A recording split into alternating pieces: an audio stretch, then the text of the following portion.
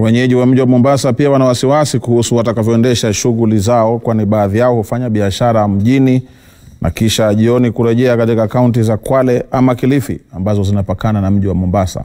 Kwa mengi zaidi, tupate taarifa kutoka kwa Francis Mtalaki.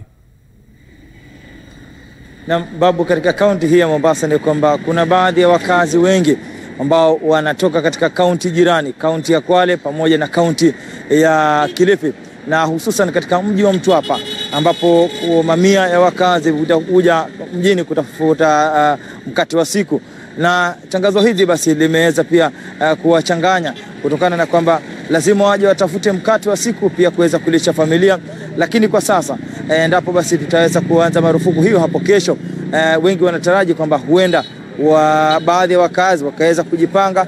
Kama unaishi kaunti ya Kwale, kuna baadhi ya wengine labda wameanza kutafuta makao mbadala ili kuendelea na shughuli zao za kila siku. Nipo na mmoja wa kazi wa sehemu hii, songa hapa karibu, alafu tueleze labda umejipanga kivipi, hususan katika masuala haya ya marufuku ya kutotoka katika kaunti hii ya Mombasa.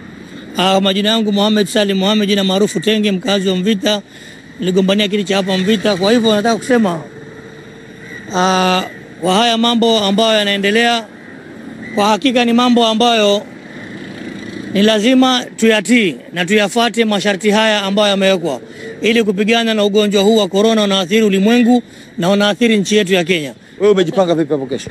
Mimi nimejipanga nikae nyumbani niangalie familia na niweze kuangalia jinsi gani nitachunga familia yangu na kuchunga jamii zingine. Lazima tuwasaidie, maana tunasambaza sanitizer, tunasambaza mask kwa wale wasiojiweza, na riski kwa ajili ya watu wetu, watu wa Mombasa, kuwasaidia watu wa Likoni, watu wa maeneo mengine.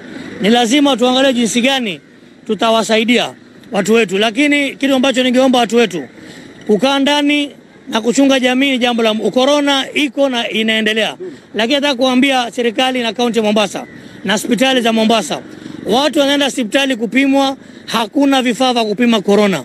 Unatolewa kwa marufuku. Wewe umejipanga vipi? Unaona kwamba utaweza ukiwa kama kuna wale ambao wanatoka kaunti ya Kilifi kama eneo la Mtwapa? Eh, kuna wale ambao wanatoka kaunti zingine, lakini kwa ajili ya majanga na ugonjwa huu na rais ametangaza ni lazima tutii hizo sheria tuzifuate, lakini kuna wale ambao ni viwanda wenye makampuni ambao kazi zao ziko kule, watafutiwe njia wasaidiwe. Wale ambao wana biashara zao kubwa kubwa, Kwale wana biashara Mtwapa, wana viwanda ambao vinasaidia kwa chakula, ambao vinasaidia kuproduce mali ya wananchi ambayo itawasaidia maji, vitu ambazo vitatumika kwa ajili ya sisi kufaidika. Watafutiwe njia ambao watakuwa wakiweza kufanya kazi zao, ili wananchi waweze kupata njia na kuanza kupata njia kusaidika na kupata kwa chakula ili wasiumie zaidi. Na kuna watu wanaishi hii Kenya kwa 1 dola, tuwafikirie watakula vipi, wataishi namna gani, tutawapelekea chakula kivipi kiwafikie, ili waweze kusaidika, tusiwatese ndani, badala ya korona tukawaua na njaa. Pia lazima tuwasaidie. Asante sana kwa muda.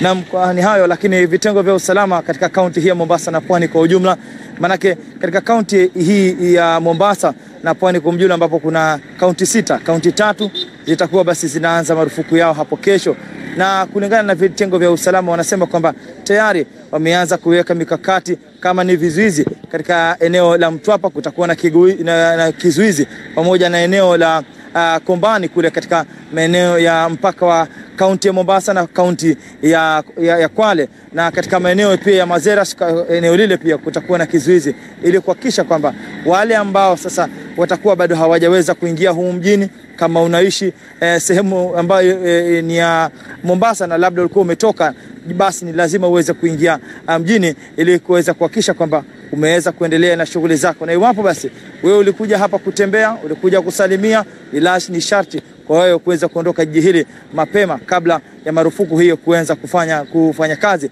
Hiyo ndio ujumbe kutoka kwa maafisa wa usalama, maanake wanasema kwamba tayari wamekwisha pokea agizo la rais na kwao wanasubiri hapo kesho kuanza kulitekeleza rasmi mwendo wa saa moja usiku.